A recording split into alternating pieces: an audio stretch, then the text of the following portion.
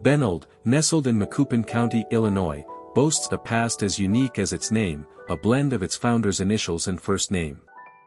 Born in 1903, Benld's lifeblood flowed from the rich black seams of coal beneath its soil. Benjamin L. Dorsey, the town's architect, secured both land and mining rights, setting the stage for a vibrant, diverse community forged in the fire of the coal mines. The call of opportunity echoed across the Atlantic, drawing waves of immigrants from Italy, Croatia, Russia, and beyond. These men, and their families, arrived with dreams heavier than their picks, seeking a better life in the American heartland. They built Benld from the ground up, their sweat and sacrifice intertwined with the rising smoke of the mines. Life in Benld pulsed with the rhythm of the pickaxe. Danger lurked in the dark shafts, but camaraderie and resilience illuminated the path.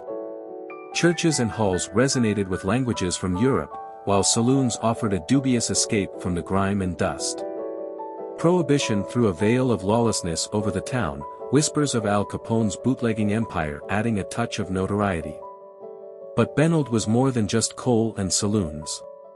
A vibrant cultural tapestry woven from traditions both old and new adorned the town. Festivals brought the scent of exotic spices, music filled the air, and families celebrated life under the watchful gaze of the Holy Dormition, a Russian Orthodox church that stood as a testament to their roots. Yet, no coal seam lasts forever.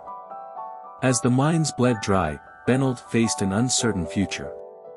The exodus began, families seeking greener pastures beyond the dimming mine lamps. Benld shrunk, its streets echoing with the ghosts of yesterday. Today, Benld stands as a testament to the indomitable spirit of its people. Though quieter, the town holds on to its heritage, cherishing the stories etched in the faces of its remaining residents. The legend of Capone still whispers through the taverns, while museums preserve the memories of the miners who carved Benld from the earth.